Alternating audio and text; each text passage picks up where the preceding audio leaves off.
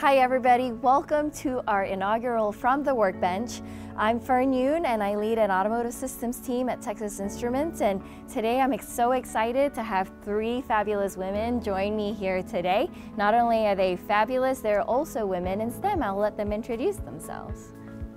Hi, my name is Jill Pestana and I'm a battery scientist and engineer. I work as the lead battery consultant at Accenture for North America. And I also have a YouTube channel where I share all about my knowledge on batteries.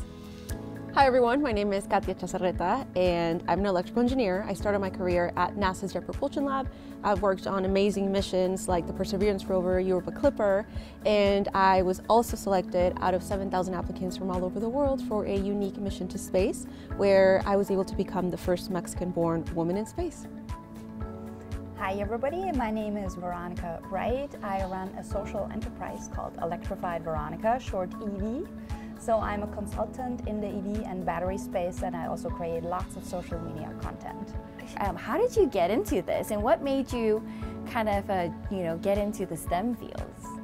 I am a musician and okay. was into science and math in high school. Very and cool. so I wanted to find a field that I could combine music and science and I figured there was something called acoustics, the physics of music, and that led me into physics. And from there I tried so many different things, astrophysics, and I got really interested in material science and electrochemistry, which led me to understanding that there's big problems in energy, how are we going to store renewable energy? Mm -hmm. So I got really interested in batteries, and that's how I led, that's what led me to batteries.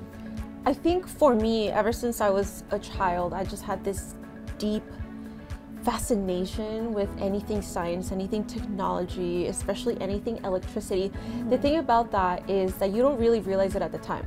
Mm -hmm. So if I'm seven years old, I'm not necessarily going to say, oh yeah, what I really love is science and technology. you don't have the words for it.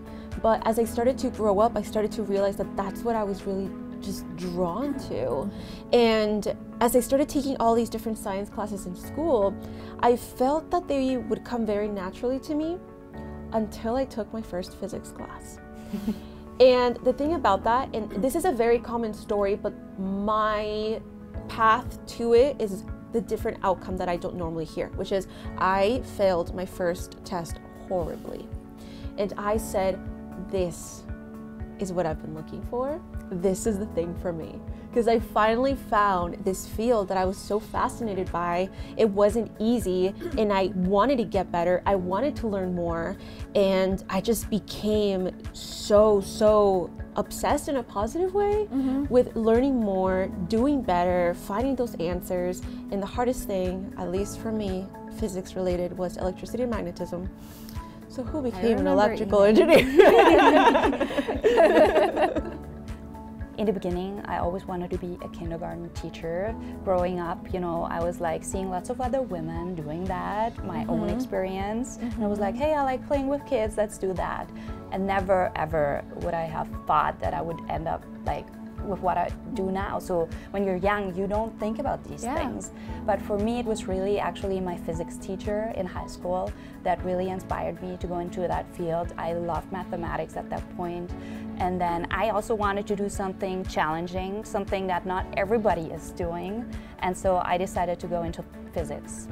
I also enjoyed uh, math and for me it was, to your point, Kat, you know, I didn't have the words for it, but I loved learning about how things worked. So much so that my parents actually got me a book that says How Things Work. Uh, for, for Christmas one year, I think, and it was, I loved reading it. And as I got older, um, I love just taking things apart and figuring out how things work. Uh, this may date me, but um, we had a VCR um, at the house. it's okay, and I it's, too. and, and, it stopped working. And so I asked my dad, I was like, hey, can I take it apart? I just want to see how it works. And he's like, yeah, go for it. Um, so I took it apart. It was really fascinating just seeing all of the pieces, you know, that made up a VCR. Um, I couldn't put it back together. I, I, didn't fix it. but that really got me thinking, oh, okay, well, this is really exciting. This is really interesting. I wonder what else I can learn. I would say my journey towards electrical engineering is also a little unconventional and something I wish people would have shared more is I did it through a process of, of elimination actually. I figured out what I actually didn't like and go, all right, tried that, didn't like it. Tried this other thing, didn't like it. And then I did find something that I did enjoy. And, you know, to your point, Veronika, I didn't actually know the role I have today existed until, you know, you start working and you start exploring and learning about different things. And um, so that's been really fun. So it's very exciting to hear that all of you had very similar experiences to get to where you are. You know, Veronika, one of the questions that I get a lot is what's it like to be a female in STEM? Uh, do you get that question a lot? And if so, you know, what, what do you say? What do you tell people? I get that question all the time. You know, as a physicist, mm-hmm. everybody is always like, "Oh my God, there's not many women in physics." Yeah. Physics, and how how does it feel like? You know, to me, it feels like just completely normal, honestly. Mm-hmm. So if mm-hmm. I think back um, at university, then working in the corporate world, and even now, I'm mostly surrounded by men. I don't think it's a bad thing. But there's one thing I want to share where I think diversity is just so important. Mm-hmm. I think you want to have people around you that you can identify with. Um, and this for a woman can be another woman, right, as a role model. And I had this one moment where I went to a conference and all of a sudden there was a woman on stage, which is so rare in the automotive world. Mm-hmm. And I looked at her and she talked about batteries, about EVs, and she was so enthusiastic. And when I saw her there, I was like, I want to do that. Yeah. I want to be on there. Yeah, I think, you know, what I hear a lot is um, people want to be who they see and they want to see themselves um, in, in, the future. And so I think it's really important that we do have women in STEM, you know, sharing their experiences because I think it gives uh, the next generation the the idea of oh I can do that too. Exactly. Very similar to your experience. I definitely felt like I didn't belong, and I had a lot of people telling me I didn't belong, which did mm-hmm. not help. Mm-hmm. I tried so hard to blend in, wearing the collared shirts and the khaki pants, mm-hmm. and I felt so uncomfortable. You'll see like, today I'm here in a mm-hmm. dress because and rocking this it. is what I love to wear. And it's just the whole attitude of people towards women in STEM and the questioning I found my male colleagues weren't questioned. Mm-hmm. So when I would ask a man, you know, why are you in engineering? What interests you about it? They would be like, kind of taken aback that I was even asking them that yeah. when I was like, oh, I thought this was just a question that, that everyone asked each other. Yeah. It's like I felt like at every moment when somebody would put me down, it, it did cause me to reflect on like, do I really want to do this? Like, do I really want to yeah. put me put myself through this harassment, this kind of daily battle mm-hmm. to prove myself? You know, becoming who I was, not not being sure if this was the right even path for me, but having those points of reflection based on that helped me really look within and understand. No, I really want to do this, and I can do and this. And I can do this. Yeah. Just based on those negative experiences, but at least in my case, and uh, Fern, you can probably relate to this too. In my case, I'm having to deal with a lot of these negative stereotypes because I'm a woman, but I'm also having to deal with a lot of these negative stereotypes because of my cultural background. And so sometimes these um, negative comments or, or negative situations come from me being Mexican. Sometimes mm-hmm. it's me being a woman, and sometimes it's both of them together at the same time. And the truth is that you become very strong. There is not a single thing that you can say to me anymore yeah. that will hurt me. and the sad truth about that is, it's not that I was born strong. It's not that I've always been strong. It's that I had to become very, very strong because of all of the different situations that I've had to be exposed to mm-hmm. over the years. Now, this definitely started for me even when I made my choice of becoming an engineer. Mm-hmm. I would tell the people around me, and, and, the biggest thing that I would hear was, What? Yeah. Why? Like, that doesn't make sense for yeah. you. Why doesn't this make mm-hmm. sense for me? I'm constantly tearing things up. I'm constantly trying to figure out how they work. I'm constantly asking my science teachers for more problems or more work so that I can learn more. How does this not yeah. make sense? I mean, all the signs are there and have been there. For me, one of the biggest uh, signs of success when communicating a lot of these topics is when a young girl or even an older woman says to me, that is so interesting. Yeah. And yeah. Something that has been so fun for me is I've had the opportunity to walk a few red carpets and be a part of a lot of these different fashion photo shoots. And when I meet a famous celebrity, like someone we definitely recognize on our screens. And they ask me, So what do you do? And I say, I'm an engineer and I do this and I worked on the rover and I worked on the spacecraft and I went to space. And to hear these women say to me, Oh, I love quantum physics. Yeah.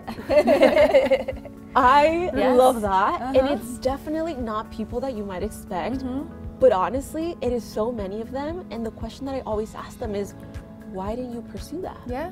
And the answer is, I didn't know I could.